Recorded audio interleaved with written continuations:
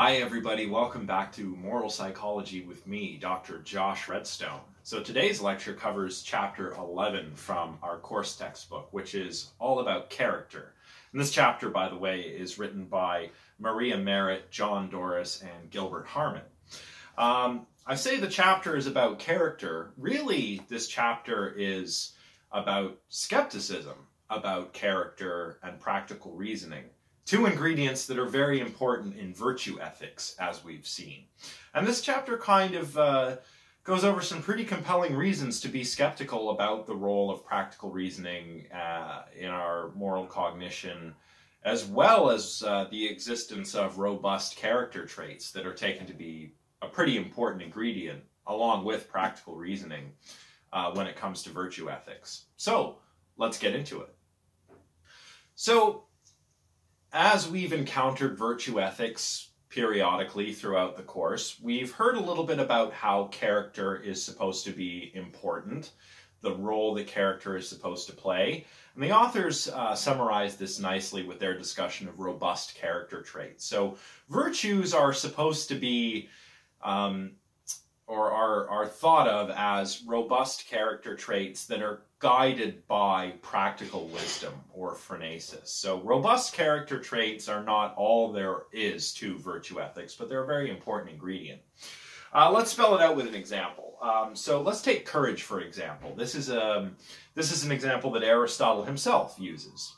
Now, someone who possesses this character trait of courage uh, is expected to act consistently courageously when they're ethically obligated or when it is uh, ethically appropriate to do so. And not only that, but they're expected or can be expected to act this way in spite of reasons to behave otherwise. So, since we're talking about courage, I mean, we can take, for example, a soldier who possesses this virtue of courage. Uh, that soldier might be expected to act courageously uh, consistently when it's ethically appropriate to do so, say to come to the aid of his or her fellow soldiers or something. But they would also, or should also, be expected to behave that way when, uh, or rather, in spite of reasons to act otherwise. So, in uh, extremely dangerous situations, this person wouldn't flake out, but would still act courageously in spite of the danger. So, that's a concrete example. But we can make this a bit more broad uh, by framing this the way that the authors of this chapter do. And they say that um, uh, what we've just discussed when it comes to courage should hold for any other robust character trait. So, someone who possesses uh, such a robust character trait, which we'll call T, can be expected to display uh, excuse me, expected to display T relevant behavior in a variety of situations that are relevant to T, even when the situation is not conducive to such behavior. So, robust character traits are like standing dispositions to act in uh, ways that promote the good, even if acting in those ways is difficult, challenging, requires a lot of effort, and so on and so forth. Now, I mentioned that this is not all there is to virtue ethics. There's also practical reasoning, or phronesis, uh, which we are going to talk about later. Um, but uh, I just want to say this is not covered in the textbook nor in my slides, but the way these two are supposed to interact is, at least if you're like an Aristotelian virtue ethicist, is to help you identify the golden mean. And this is how you develop these behavioral tendencies or character traits, right? Let's go back to courage, for example. I mean, courage sits at, um, you know, this golden mean that Aristotle imagined between cowardice and between, like, rashness. Um, so we want to find that nice middle path, that this medium between two extremes. We don't want to be a coward, but we don't want to be so brash that we rush off uh, stupidly and get ourselves killed for no reason, right? How do we find that golden mean? Reason, or logos, as the ancient Greeks would have put it. And of course, uh, learning how to determine what the best um, ends are and what the proper means to achieve them are. In other words, how do I behave and in what situations do I behave that way, right? How do I make sure I'm landing in that middle way and acting courageously and not uh, acting uh, cowardly or rashly. Um, how on earth do I do that? Well, I use my practical wisdom, my phronesis, right? That's how these are supposed to interact. So the golden mean, something that's mentioned, or sorry, something that I'm mentioning now, which is not talked about in the textbook, but something good to be aware of since we're talking about virtue ethics. So, um, what's the problem about these robust character traits? Um, why are we skeptical, or why are the authors of this chapter skeptical about the existence of these robust character traits? Or if they're not skeptical about the existence of these traits, I, if we want to be a little bit less extreme with our reading, why would these authors be skeptical um, about these character traits, assuming they exist, playing a role in our moral cognition? Well, it has to do with the reasons um, it has to do, I should say, with findings from um, psychology, from experimental psychology. Now, some of these studies we've encountered before, uh, some of them we have not, but we'll talk about each of them in turn. But as we talk about them, keep in mind these robust character traits are supposed to be standing dispositions, right? They're not whims or habits. Uh, they could not really count as virtues if they were just something, uh, just ways that we acted, say, on a whim, right? Or if they were a habit uh, that I guess was uh, just behavioral and not tied to our reasoning in some way or another. Our reasoning, you know, to find that golden mean, right? Um, so these are supposed to be these long-standing dispositions to display trait relevant behavior in the appropriate circumstances in spite of reasons uh, to do otherwise, right? Um, and there's two ways we can be skeptical about this. We can deny that they exist, or if they do exist, we can deny that they actually play the role that virtue ethicists, virtue ethicists think that they do play. Okay, so whether you take that strong view or the weaker view, what are the reasons for taking either of those views? Well, they come from situationist experiments in psychology. So I'll go through the examples that are enumerated in the textbook of these kinds of studies. So in a 1972 study, Isen and Levin found that subjects who had just found a dime were 22 times more likely to help a woman who had just dropped some papers than those who didn't find the dime. So these are these are experiments that are done with naive participants and they're set up kind of in the wild, right? Perhaps on a university campus, so no one's coming to a lab to do this experiment. Instead, we'll have an experimenter who plants a dime and a passerby notices it. And if the passerby notices the dime, one of the experimental confederates will drop her papers um, and then an experimenter who's watching from afar will see if uh, someone will help that woman pick up her papers. Now, in this study, what was found is that for the subjects who found the dime that was left there, they were 22 times more likely to help the woman who had dropped all of her papers than those who didn't find the dime. Interesting finding. What about this other study by Mathews and Canon? This was done in 1975, and they found that people were five times more likely to help an apparently injured man who had dropped some books when the ambient noise was at normal levels compared to when the ambient noise was at much higher levels. So what they did here was they had, again, a situation probably taking place on a university campus. Um, I haven't read this original paper exactly, but uh, it's in some area where the ambient noise would be, I don't know, a bit like the the quad at Carleton University, right? Um, before before this whole situation, anyway. Imagine it's a lot quieter there now. In any case, uh, we've got people sitting around studying. There's a bit of noise, birds in the trees, very pleasant. And people are five times more likely to help an apparently injured person who's dropped some books. Uh, again, this is set up a lot like before. So we'll have a Confederate who's dropped some books um, in in an area a bit like the Quad at Carleton University, and um, people are five times more likely to help an individual who's dropped their books in that situation compared to when there's say um, a gasoline powered lawnmower running nearby. So when the ambient noise is loud and unpleasant, people are much less likely to help this person who's dropped all of his books. Interesting.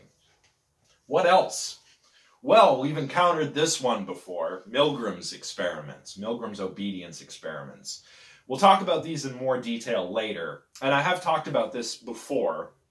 I've also linked in one of my previous lectures, um, I linked, uh, linked you to a video on the Milgram experiment. So I hope you've all watched that. Just in case you haven't, I'll put it in the video description of this video lecture too, so that you can uh, refresh your memories or watch it if you haven't seen it already.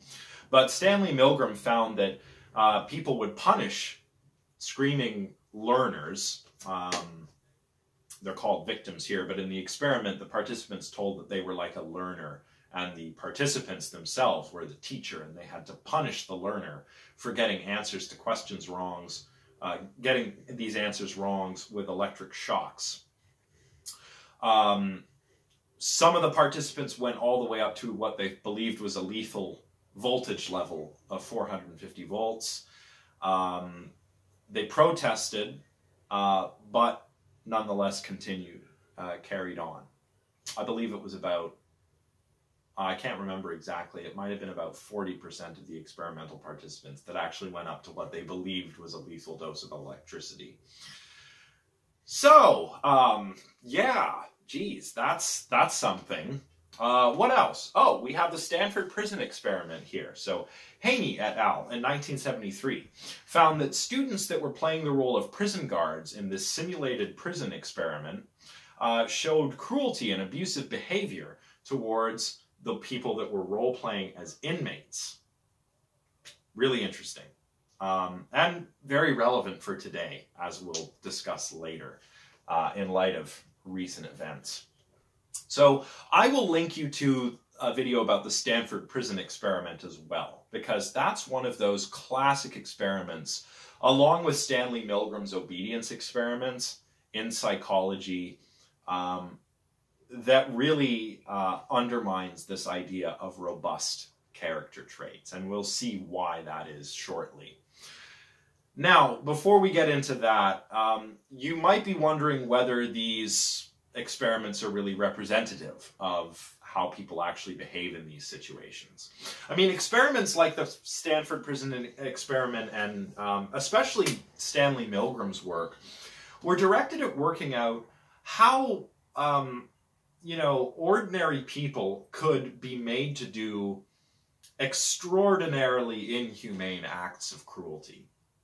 Stanley Milgram particularly was was interested in how we could explain things like, you know, how does um, a regular old Joe um, end up as a senior officer in uh, the SS, you know, in the Second World War in in Germany in the Third Reich? How does somebody end up as a guard or a commandant at a, at a concentration camp or a death camp in Nazi Germany, right? Um, the death camps were, were not in Germany, they were in Poland by and large, but uh, we'll say the Third Reich, right? How does a, uh, an ostensibly normal human being like you or I, um, how does someone like that commit extraordinary acts of evil, such that were seen during the Holocaust, right?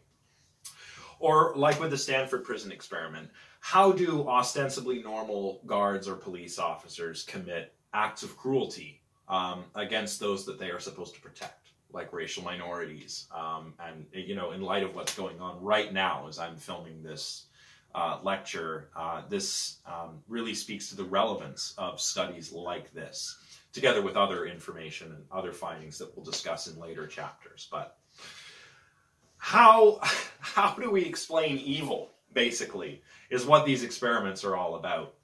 Um, the unfortunate thing is that uh, these experiments don't really show us behavior that's exceptional.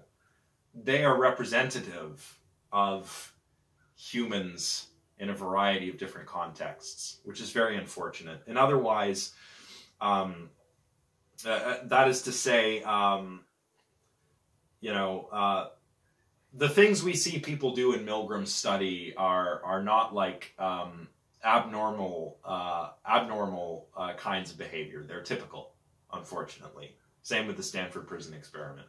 And I'll even share another example video of a little experiment was that was done in a school classroom in the 1960s by a teacher that again speaks uh, very, very uh, speaks very much to the point or, or, or, is very relevant to what is happening right now uh, in the United States and around the world um, in relation to the death of uh, George Floyd. So we'll talk about that uh, more uh, as we proceed through this chapter. But um, studies like this show that um, people's moral cognition and, and the behavior that follows from their thinking about what is right and wrong is very easily influenced by situational factors, not robust character traits. And we've seen this before. Um, we've talked about studies like uh, the one done by Jonathan Haidt and Thalia Wheatley, uh, where they hypnotized subjects and um, caused them to uh, feel disgust at, at like a cue word, such as the word often. And we saw how that could affect differential, uh, different moral judgments that they were making. There's the uh, Schnall study uh, that uh, you know has the fart spray in the dirty desk and made people uh, give harsher judgments um, about these moral vignettes they were presented with by making them feel disgusted, making the participants feel disgusted, I mean.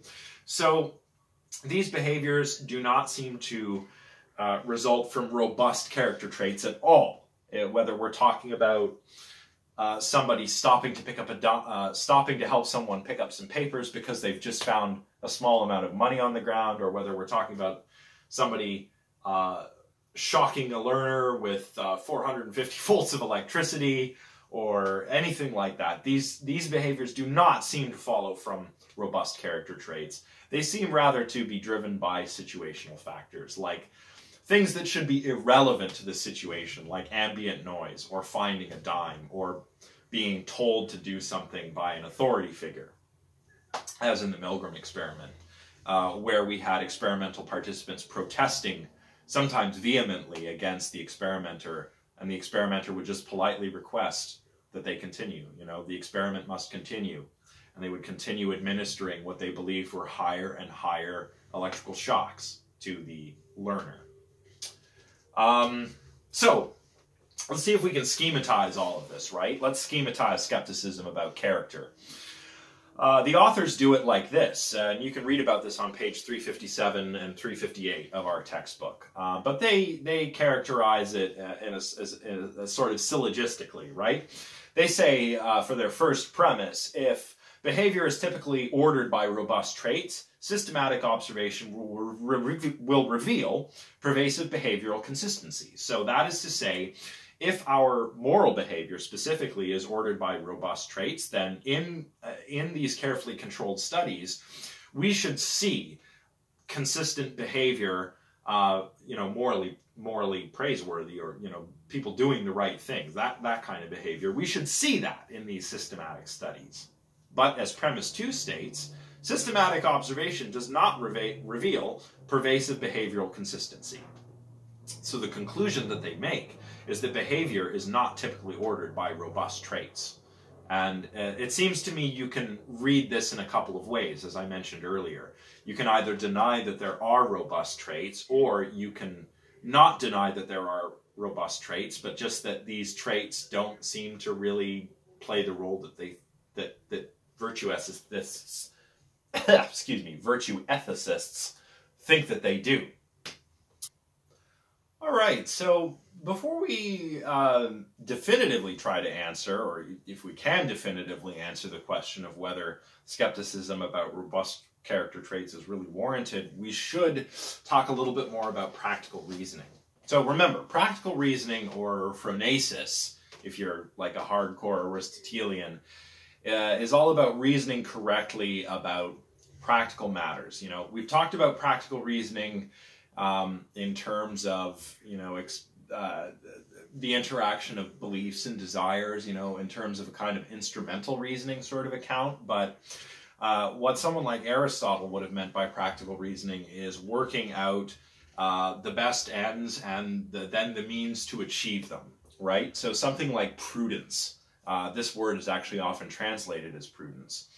Um, so we have to recognize, you know, uh, how to reason correctly, uh, what the requirements of a situation are, how to cope with them, um, what courses of action are best supported by reason, so on and so forth.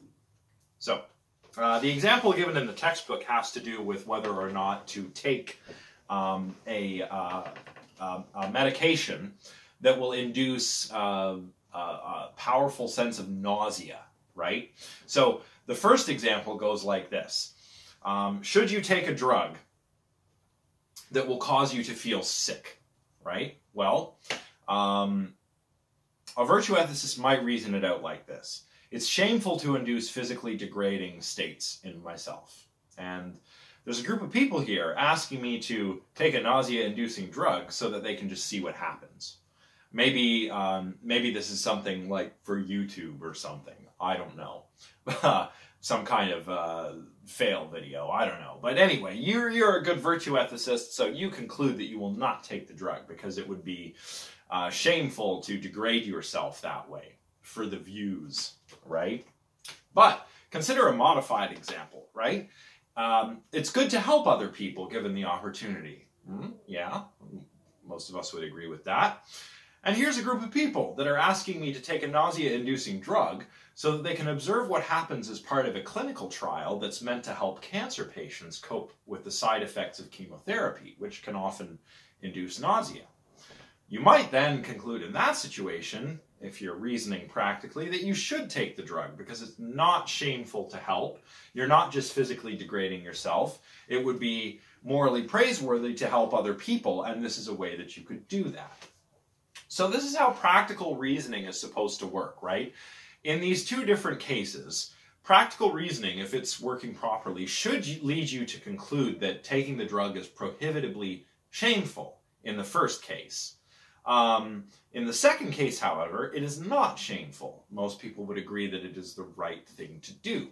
And if practical reasoning is working properly, this is probably what you would reason uh, in the first two cases. Although given the uh, the kinds of things we see on the internet nowadays, um, people don't seem too concerned about that which is prohibitively shameful um, in any case. Um, in these kinds of situations, a virtuous person uh, is aware of what considerations are relevant, right? Is it shameful? Is it good? In the case of taking a, a, a nausea inducing drug or something like that. So a virtuous person would reason about these kinds of situations in the ways that the textbook authors just have, or in the ways that I just have. A virtuous person probably wouldn't take the drug if uh, it was just a group of friends wanting to make a video uh, of their friend getting really sick to put it on the internet and in the hopes that it would go viral. That would be prohibitively shame prohibitively shameful, excuse me, for a virtuous person. But in the second case, um, the person should take the drug because it's not just um, you know for the views or something. It's actually a, a, scenario that could, in the long run, help people who are coping with the side effects of chemotherapy, which can induce um, can induce nausea, uh, very severe nausea, in fact. Um, so. Uh, robust character traits together with practical reasoning are important when it comes to behaving morally for the virtue ethicist. But and good practice, good practical reasoning is difficult. Uh, even if we weren't bad at it, uh, if we are bad at it, I, I mean, uh, ah, let me start over. Good practical reasoning is hard to do. All right, I mean, it's so difficult that maybe that's why we often fail at it. It's just really hard to do. Um, the earlier mentioned experiments that we talked about um, might just show not that we don't have robust character traits, but that we're poor practical reasoners. That could also be what's going on. The answer depends on uh, what the empirical literature shows us, the authors of this chapter contend. Uh, that is, the answer to this question of whether, whether it's robust character traits not existing or not playing a role, you know, whether we should be skeptical about character traits in short, or whether we're just bad practical reasoners, well, the answer to that question turns on what the empirical picture of defective rationality shows us. So, in other words, we need to look at experiments where reasoning goes wrong and look at how that accords with this philosophical picture that we've got of character and of practical reasoning. So that's what we'll do next. So perhaps there's some hope for character traits, but our practical reasoning just goes wrong. Maybe we're just bad reasoners. Um, when this happens, when um, morally arbitrary or morally irrelevant situational factors impede our reasoning and influence morally important behavioral outcomes, um, and even more specifically, when this causes people to behave in ways that contradict norms that they can be reasonably supposed to accept, this is called moral dissociation. That's what Merritt, Doris, and uh, Harman call it, anyway. So, moral dissociation occurs when these situational factors, which shouldn't play a role, affect our behavior in such a way that we behave uh, not in accordance, uh, uh, contrary to moral norms that we should be supposed to accept as reasonable agents, right? Um, so let's talk about this idea of moral dissociation a little bit further. Let's break it down by going back to Milgram's uh, obedience experiment. So just to reiterate, again, uh, I'll have a video uh, linked to you in the video description. You can check it out if you haven't already seen it. But in Milgram's obedience experiments, there was a teacher, and there was a learner, and there was the experimenter. Uh, the teacher is supposed to teach the learner by asking him or her questions and punishing them with what they believe is an electric shock. Bear in mind, no one was actually shocked as a part of these experiments. The learner was, of course, actually a Confederate in the experiment. He was part of the experimental team, along with the experimenter, who dressed as a reputable looking scientist with a lab coat and a clipboard and, you know, looked very authoritative, right? So the teacher's asking uh, questions, and the teacher is the experimental participant. That's who we're recording data about. The teacher punishes the learner with electric shocks that become more powerful, they're led to believe, every time. And they'll increase in voltage, voltage, up to a lethal 450 volts and the learner has to increase the voltage every time or through every iteration at the request of the experimenter. Now, Milgram reported that before the participants uh, actually did the experiment, uh, playing the role of the teacher, um, they uh, responded, 100% of them responded that they would deny the experimenter if they had to um, you know, if they were asked to increase the voltage to a lethal level. And people surveyed about this experiment uh, indicated that uh, maybe only uh, 1 or 2% would actually obey the experimenter until the very end of the experiment. Of course, that's not what happened, right? Earlier, I said I think about 40% didn't go up to a lethal voltage.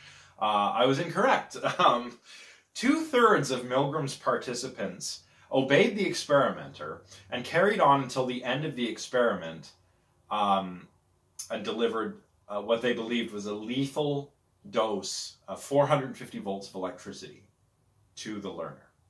Now, again, the learner wasn't really shocked. and No one was really receiving shocks. But the teachers, the experimental participants, believed that they were administrating uh, or administering these shocks to a person in the other room, which they couldn't see but who they could hear. Uh, the participants reported feeling badly about this, but two thirds of them nonetheless continued until the end. Um, now we uh, we can't do this experiment today, not on people anyway, for ethical reasons. Um, no one's actually getting shocked, but we are causing significant distress by uh, having uh, people administer what they believe is a lethal electric shock at the request of an authority figure. But um, in in in uh, in due course, since the publication of Milgram studies, these uh, these experiments were replicated.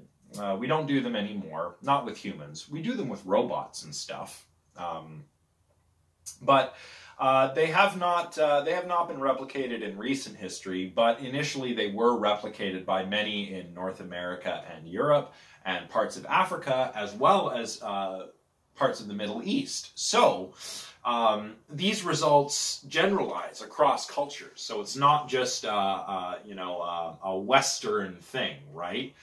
we found similar results going on in other parts of the world, which is uh, really disturbing. Um, so, what's going on here?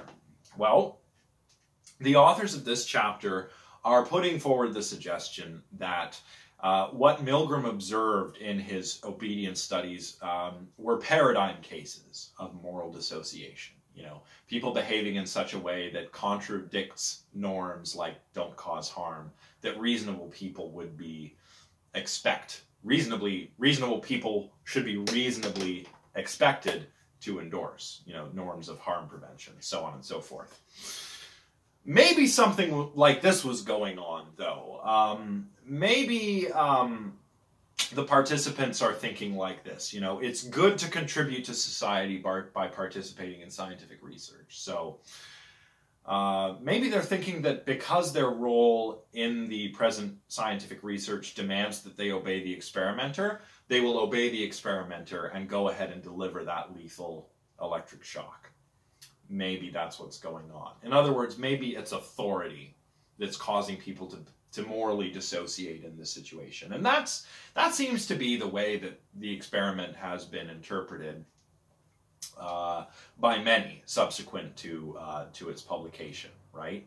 Uh, this would certainly seem to explain a lot of uh, what I mentioned earlier. I mean, how does your quote unquote average Joe go from average Jonas to uh, participating in atrocities like genocide in um, in the Second World War in the Third Reich? Uh, well, could be authority. Um, you know, um, just think of the resurgence, for example, of um, of a lot of uh, racist views that are being endorsed openly online uh, nowadays. Um, many people think that this may be because of a failure of moral leadership in uh, in America right now, uh, where we have a president who uh, does not condemn or condone, you know, uh, figures like David Duke, uh, who are associated with racist, organiza- racist organizations like the uh, the KKK. Um, uh, in this case, we don't have an authority figure so much in- encouraging overt racism, although I think it could be argued that um, the leadership in some way or another is encouraging a sort of implicit or covert kind of um, uh, kind of uh, racism or prejudice. Um, so we don't have an authority figure saying, you know, go out and, and be uh, horrible to minorities, but we do have somebody who's not stepping up and telling people that that is wrong. And some people think that that could be a reason why we see so much of this hate online uh, coming out uh, coming out in the open now. Um, uh, let me know what you think in the comments. I think that's certainly uh, certainly a possibility. I mean, it's not that this kind of uh, racial animus wasn't there pre Donald Trump presidency. Uh, it was certainly there, um, but it seems to be a lot more open and expressed a lot more unabashedly right now, which is quite disturbing. Um, and perhaps it's because of a, a lack of moral authority. In any case, sorry for the tangent. If you have any thoughts on this, let me know in the comment section or send me an email or let me know on Discord. Anyway, uh, to recap, to bring it back to where we were, perhaps a chain of reasoning uh, that's centered on the experimenter's authority is is uh, is what's going on here. You know, uh, we we could reason that it's good to contribute to society by participating in scientific research, and I don't want to punish this person with a lethal electric shock, but that's my role, and that's what the experimenter is asking me to do. So the conclusion is that you go on and you continue with the experiment. That's one possibility. Um, but a participant who endorses uh, the norms, the proper norms, the right kinds of norms that are pertinent to this situation, in, in, in short, a virtuous person who is um, should be expected to act to display trait relevant behavior like not causing harm and should endorse norms like don't cause harm. Um, should reason like this. It's wrong to inflict harm on an innocent person. The learner says these shocks are harming him and he refuses to go on so the, the experimenter experimental confederate who's being shocked who the, the teacher thinks is, is in pain uh, wants to stop and is expressing this. Uh, so uh, a virtuous person, you know, a person who has the right kinds of character traits and who's good at practical reasoning should stop. But two-thirds of participants didn't stop. So how do we explain moral dissociation? Well, um, this kind of reasoning doesn't seem to have happened. In other words, the, the, the, the proper practical reasoning doesn't seem to have happened in two thirds of the participants, or did it? Well, maybe the people weren't reasoning properly, right? We're bad at we're bad at practical reasoning. So even though these people, these two thirds of the experimental participants, if we asked them, would certainly endorse norms uh, about not causing harm, uh, so you know they have that they adhere to the right norms, but maybe their practical reasoning just went astray in, in the way that we considered earlier, or maybe they were deferring to authority, or perhaps um, they just didn't realize that the second line of reasoning we considered should have defeated the first line. So the second line, you know, the learner wants to stop, so I will stop. That line of reasoning should have defeated the first line of reasoning on which you know, it's good to participate in experimental research and my role demands that I harm this person, so I should do that. But um, it's reasonable, once again, to expect that the participants should endorse norms uh, that uh, are, are, against causing harm to people. Um, and, and most of the participants reported feeling bad about causing or uh, feeling bad because they believed they caused harm uh, to this individual. And that's why um, this seems to be a case of moral dissociation, right? We have norms. You know, th- these, these, these experimental participants do endorse the right kinds of norms, but they're not behaving in the ways that we would expect people that endorse those norms to behave. They're behaving the opposite way and they're causing harm, even though they should be reasonably expected to endorse norms against causing harm you know, that's why this is called moral dissociation in any case. How can we explain this? Well, the authors have been focusing here on depersonalized response tendencies. A response tendency is a behavioral tendency that's, uh, and if it's depersonalized, that's because um, it, it, leads to highly predictive uh, behavior um, where our reflectively endorsed values have little influence. So, uh, let me see if I can clarify that a little bit. So a depersonalized response tendency is a kind of behavioral uh, thing that we see in, in not just Milgram studies, but the other studies that I talked about at the beginning of the lecture, where um, these seemingly irrelevant factors lead to highly predictable behavior. Um, and not only that, um, our you know, ref- reflectively endorsed values, you know, norms that we've thought about, considered, deliberated, reasoned about, norms like helping those in need or not causing harm to people, they don't have the influence in those situations that they ought to have. Instead, it just seems to be, as we'll see, a lot of automaticity and unconscious reasoning. So, practical reasoning, the authors of this chapter suggest, can break down in the face of situations that invoke these depersonalized response tendencies. And those situations include, you know, finding a dime or having a, a, a pleasant level of ambient noise um, or being told by an experimenter to administer a lethal shock or playing the role of a guard in a prison experiment. Um, these lead, these all lead to these situational factors all lead to highly predictable behavior, and this behavior contravenes the norms that these very people um, endorse. That's moral dissociation. Um, so, I mentioned automaticity and unconscious reasoning. Um, let's talk about that now uh, and what role that plays in this incongruity between uh, the norms that people reflectively endorse and these uh, behavioral responses that we see that are influenced by irrelevant situational factors. All right, so how does automaticity play a role in all of this? Well, let's explain what automaticity is. You know, what do I mean by automaticity? Well, most cognitive scientists and psychologists and philosophers nowadays agree that we can divide cognitive processes up largely into two different categories. Some are controlled and some are automatic. So controlled process uh, controlled processes are those that require conscious attention or deliberation, um, and they're usually the kinds of things we have to carry out with limited cognitive resources. You know, we they take up a lot of cognitive load basically. Automatic processes don't require conscious control in the same way. So, um, my favorite example of an automatic process is the following. If you are a native speaker of English, or even just uh, a fluent speaker of English, but it's not your first language, try this right now. Try not understanding what I'm saying to you right? Try not understanding anything I've said. Unless it's, you know, a new technical term or, or a difficult thing, uh, you can't not understand what I'm saying to you.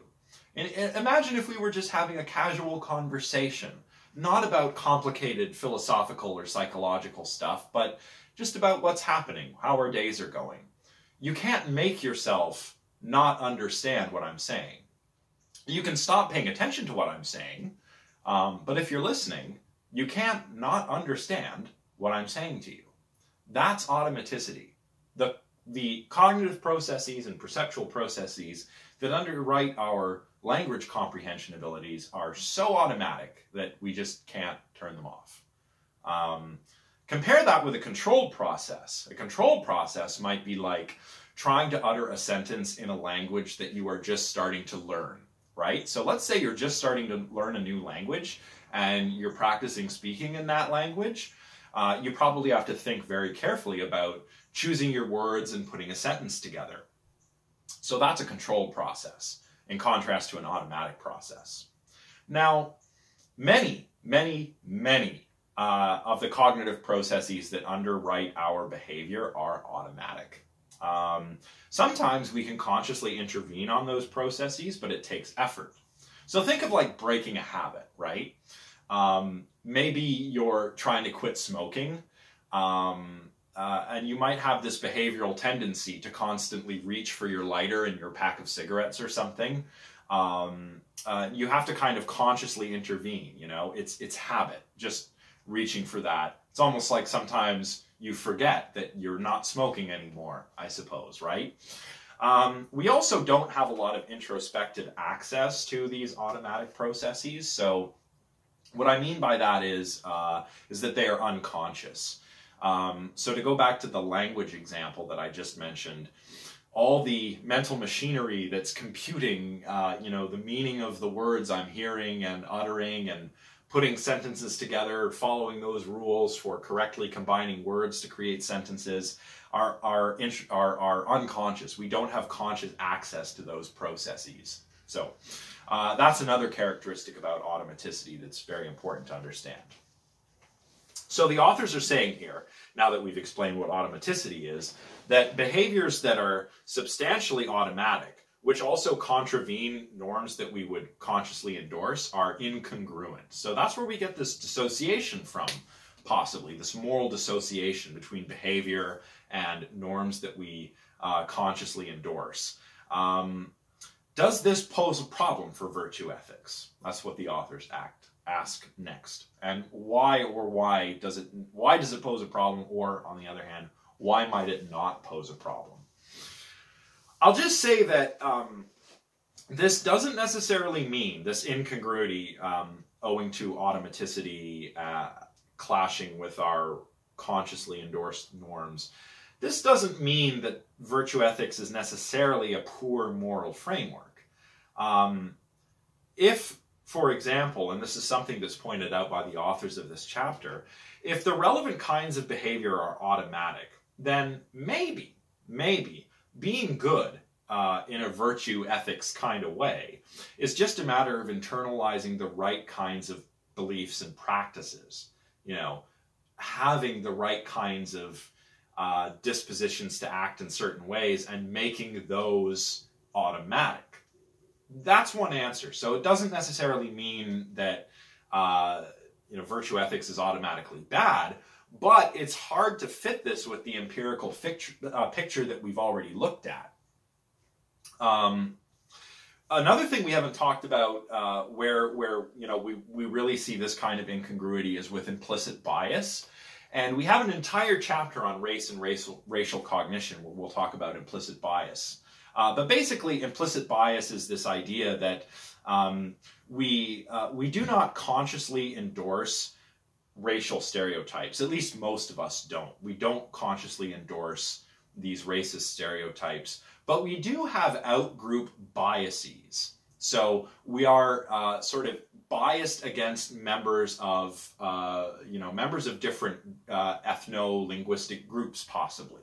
So um, I'll talk about this in detail next time, but for now, just recognize that an implicit bias would be something that maybe comes out in our behavior, whereas an explicit bias is, you know, the kinds of things you'd hear from an openly you know, an open vocal uh, racist person, right? They might exclaim all these horrible things about uh, racial minorities or something. That's an explicit bias. So being like an overt racist is an explicit, that's explicit. Implicit would be like, well, I'm not a racist. I believe all people are equal. Uh, but perhaps unconsciously or behaviorally, uh, I can, we could see that I, I'm treating people from various groups differently that's what the implicit association test is designed to get at, and we will talk about that in more detail uh, in our lecture on race and racial cognition. But that's another example of this kind of incongruity. And um, sure, we can try and make um, the right kinds of behaviors, uh, habits, or automatic, right? Um, but um, isn't that what we already try to do, right? We try to teach children uh, don't be racist, right? We, we teach we teach children, parents teach them, schools teach them, uh, community organizations, uh, extracurricular activities, and in many many areas, children are taught not to be explicitly biased against other groups. But this implicit bias still shows up in implicit association tests. So that's troubling for virtue ethics. Um, something to think about in any case. Uh, let me know your thoughts in the comments. Um, uh, what I would like to know, especially if, if you're if you're so inclined to leave a comment, is whether you think that any of this really poses a problem. Uh, are you convinced by the experimental literature, um, or do you think that automaticity and incongruity, um, uh, even if they do pose a problem for virtue ethics, can this be overcome? Um, I'd like to hear about that. Uh, again, you know, uh, just let me know your thoughts. Comments, Discord, uh, be a good way to get some discussion going.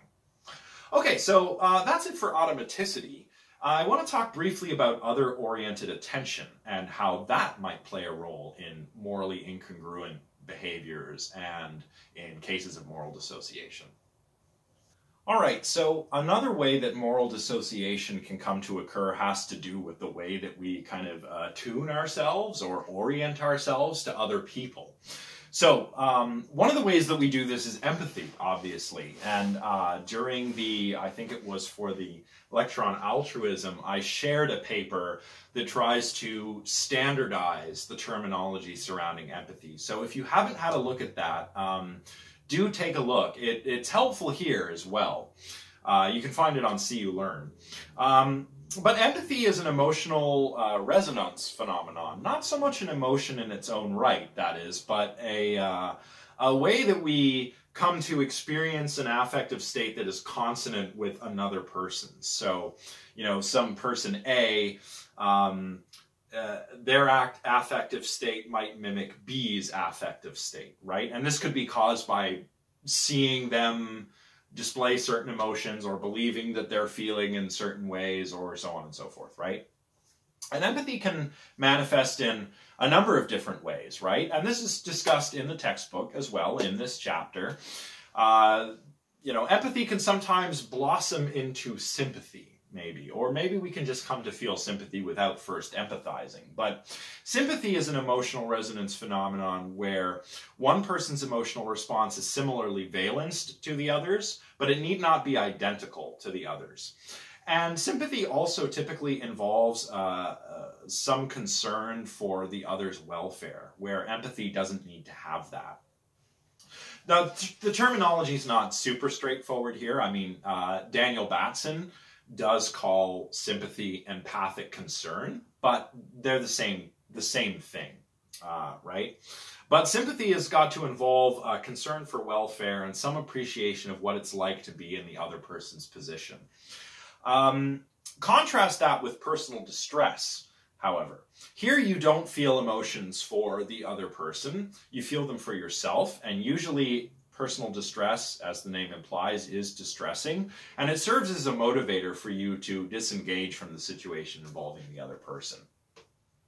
So, um, one of the ways that we could understand what's going on in the experiments we've discussed is uh, perhaps a failure of empathy, where, in, say, for example, the Milgram experiment, people um, perhaps don't come to feel sympathy for uh, for the people that they are shocking, or if they do, that's overridden. Um, perhaps by the authority of the experimenter. Or in other cases, perhaps uh, by not finding the dime or by having uh, a lawnmower going in the background, these situ- situational factors influence our behavior in such a way that we don't make that leap into sympathy when it comes to the person who's dropped all their papers or their books. Maybe it causes us uh, or primes us in such a way that we're feeling distressed and we want to remove ourselves from the situation. Um, I would like to hear some discussion about this as well in the comments section. I mean, um, do you agree with this uh, kind of failure of empathy take on what's happening? And if so, do you agree that um, the ways in which we empathize or fail to empathize or sympathize might pose a problem for a virtue ethics account of morality, I'd be curious to hear about that. So before we wrap things up, uh, we'll have a kind of discussion about what measures we might be able to take in light of what we've talked about today. Um, that is, in light of uh, moral dissociation and moral incongruence uh, as a result of these situational factors that should be irrelevant when it comes to doing the right thing. So there's there's there is, I think, good reason to be skeptical about the role of practical reasoning and the role of robust character traits uh, in our moral cognition. Um, so if you're like me and you worry a little bit that virtue ethics is in trouble because of all this stuff, then maybe there's some things we can do about that. And these are all discussed in, in detailed. Uh, in detail in the textbook. I won't go into all of the examples, uh, but of particular interest um, are things like the Rwandan genocide, which is discussed here. I haven't discussed that today. I have discussed the Holocaust uh, very, very briefly. Uh, but these are the kinds of things that uh, the authors are thinking about here. They also talk about Abu Ghraib, uh, the prison um, uh, in Iraq where uh, prisoners of war were held by American forces, and as we'll see, were uh, treated um, very questionably, to say the least. So, without getting uh, too convoluted here, uh, the author suggests that um, to protect or insulate, rather, might be a better word, against moral dissociation, we need to take measures uh, that um, we need to take institutional measures and interpersonal measures to kind of um, help prevent these failings of practical reasoning and character. Um, now, I think that many virtue ethicists would probably already uh, countenance something like this. So, I mean, just think about Aristotle, right? This is something I mentioned in my slides that uh, in order to, to be a good person, we, we need a good society and good systems in society. And to have a good society, we need good people. Uh, it's a kind of uh, feedback kind of thing, I guess you could say. I mean, just think about it like this. The Nicomachean Ethics, which is like the keystone of Aristotelian virtue ethics, directly precedes Aristotle's book, The Politics. And the Politics is all about how to have a good society, and the Nicomachean Ethics is all about how to be a good person. In fact, Aristotle wrote it for his son, Nicomachus, so that he would know how to be a good person. So to simplify everything, yeah, the uh, the ethics is about being a good person, the latter about a good society, but they dovetail very nicely. Indeed, you know, if if you're if if if you're if you're so inclined, you could treat them as one continuous work if you wanted to. Uh, so this this idea that um, we can kind of insulate against failures of practical reasoning uh, and um, you know, failures of character and moral dissociation. I think a lot of virtue ethicists would be on board with that. It's not really that dissimilar with what's been there from the beginning. So, the kinds of institutional problems that I am talking about and the authors of the textbook are talking about are those that do not properly regulate the moral behavior of the members of that institution. So this is something that we see in the Stanford prison experiment, right? Where uh, those that were role playing as guards were were just kind of able to mistreat those that were role playing as prisoners, and there was no regulation over their behavior, right? And this happens in the real world too. Um, this happens, uh, for example, uh, not just in um, you know wartime situations although we'll get to that in a moment. This happened um, this this happened for years in the entertainment industry. Uh, that's what the me too movement has been about right? Where we have people who were um, behaving in sexually inappropriate ways and there were no institutional checks against the, against these people like characters like harvey weinstein who held so much power um, and were able to exploit that power uh, in order to exploit vulnerable people sexually um, and it got to such a point that there had to be a mass movement because there were no checks in, uh, there were no institutional measures in place to prevent this kind of thing. Or at least if there were, they were not sufficient, apparently. Um, particularly relevant to today are institutional uh, instances of institutional violence committed by the police against members of racial minorities. And this is uh, obviously, something that um, this issue has has been ever present in, in, in America and probably largely to to one extent or another in Western society uh, for a very long time. You hear about a lot in America with respect to black communities. We have the same problem here. Uh, let's let's not pretend that we're morally superior to our neighbors south of the border. I mean, we do have the same problems here uh, with uh, all kinds of minorities, and I would argue uh, particularly towards the Aboriginal communities of Canada. Um, indeed, our former institutions, um, I'm talking things like residential schools, were didn't just fail um, to regulate moral behavior, but actually promoted immoral behavior by encouraging. Uh, you know, the, the, these schools were meant to remove uh, uh, were meant to remove their language and culture, essentially committing cultural genocide was what happened. Um, very unfortunate. Um, so we can have institutions like that that are, you know, not uh, not failing to regulate moral behavior, but actually condoning and encouraging immoral behavior. But you know, um, think of the institutional violence um, uh, that's a result of, you know, like uh, the violence that's a result of institutional problems and things like police forces, right? Where um, there's not just implicit bias, but explicit bias, um, and not enough is being done. In fact, I would argue the opposite, especially if you look at American policing forces, where we have an over militarized police force. And um, I've said this in conversation with many people recently, but if you if you take you know your average Joe and give them that power, the power to police, to arrest, and give them the, the tactical gear, the weapons, you're just not going to behave the same way that you do uh, when you're not in uniform, when you don't have that amount of institutionally backed power behind you.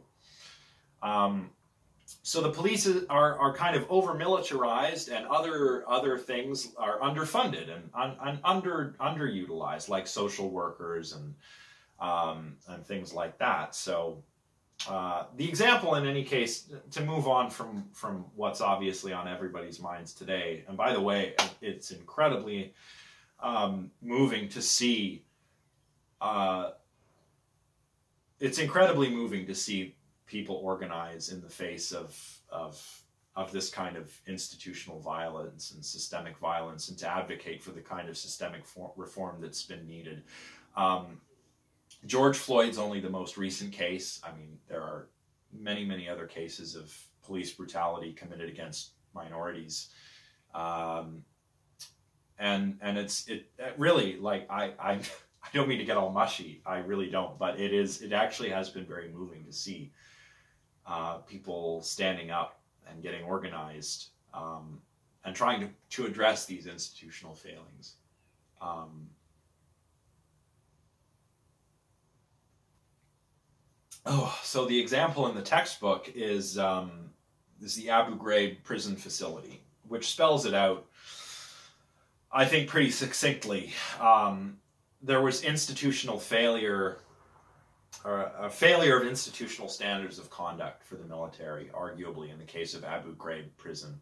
I'll put pictures of what some of the guards were doing to the inmates at Abu Ghraib here that are also in my slides. So this was a top-down failure. We had uh, the boots on the ground, as it were, um, uh, violating the rights of, of these inmates. And yeah, I know you're saying these are enemy combatants, uh, terrorists. I mean, human rights need to be respected. I mean, what are we fighting for, right? If we're supposed to be the good guys, how can we be the good guys if we're if we're torturing, if we're treating people inhumanely? We're not the good guys if we're doing that. And that's what happened in Abu Ghraib.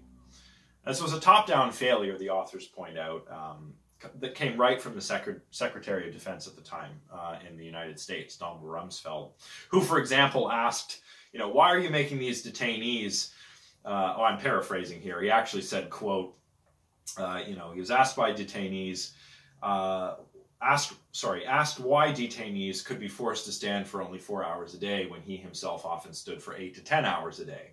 That was apparently taken as license to uh, just do whatever uh, they wanted. Um, you know, uh, sleep deprivation, um, putting filth in people's food, having people stripped down and um, just awful, awful stuff. Um, soldiers, of course, and this is this is not meant to. This is this is not an anti-military thing that I'm doing here. Um, a lot of the members of the military that I've known in my life have been absolutely upstanding. Um, the problem is that um, all of the things are there to make sure that uh, or all, there are things that are supposed to be there to make sure that soldiers continue to be upstanding when they're in these situations where there is a high chance of moral dissociation happening. And in the case of Abu Ghraib, this broke down from the top all the way down to the bottom, all through the chain of, chain of command. So I don't know. Um, let me know what you think. If cases like Abu Ghraib or if what's going on right now um, with all of the protests against uh, systemic racism and systemic injustice in, in the police uh, forces and, and in the legal system, uh, do these all suggest that uh, institutional measures are not sufficient to uphold good moral behavior? Or, and this is what I think, do you think that there are measures that we can still take? I'm optimistic that there are. I can't lay all of them out now. That's not what this lecture is all about. But I think that we have come a long way in terms of addressing institutional failures like police brutality, but we've clearly got a long way to go. We clearly have not dealt with implicit bias nor explicit bias in, in, in entirety. Clearly we haven't Otherwise, these kinds of things, like what happened to George Floyd recently, would, would not be happening. Now, I know this has been kind of a kind of a heavy one, but I would love to hear your thoughts either way. I think this would just be a good opportunity to get some discussion going. And don't limit to yourselves to the examples I've just brought up now, like Abu Ghraib or uh, what's going on presently in the world. Um, you know, this is where we have to, this is one of those discussions where we kind of have to confront the darkest elements of humanity, right? When we have to talk about things like residential schools or the Rwandan genocide or the Holocaust. Um, and we have to try to understand how these things happened. If we all think those are horrible uh, and we, we don't endorse uh, we don't endorse that sort of thing and we endorse norms contrary to those kinds of things and I'm not that much different from the next guy and, and, and the next guy and the next guy, then how is it that these things come to happen? It's really a serious, serious issue, something that we have to contend with that we are contending with, but nonetheless that we obviously, arguably, have much, much more work to do. All right. Well, um, this was a heavy one. Um, we haven't covered everything in the chapter. That's all right. Um, but I hope that you will discuss some of this in the comments section and think about it uh, with yourself, with your friends. This is the right time to have these kinds of discussions.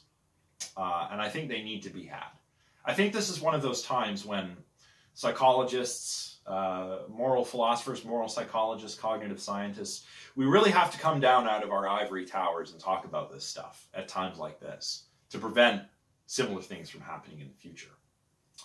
So, um, I hope you keep thinking about all of this. I hope you keep discussing it with, with those that you know, those you care about. Um, the next lecture, um, Oh, once again, I've forgotten the next lecture. I think it's well-being, although it might be race or racial cognition. Um, you know what? It'll be a surprise. I'll upload it once it's finished. Uh, I'll have to take a look at the syllabus just to remind myself. In the meantime, I hope you're all staying safe out there. Uh, I uh, hope you're studying all of the materials. Um, I've just put up the third quiz, so don't forget to check my announcement on cuLearn. Um, and I will see you for our next lecture. In the meantime, take care, everybody. Bye for now.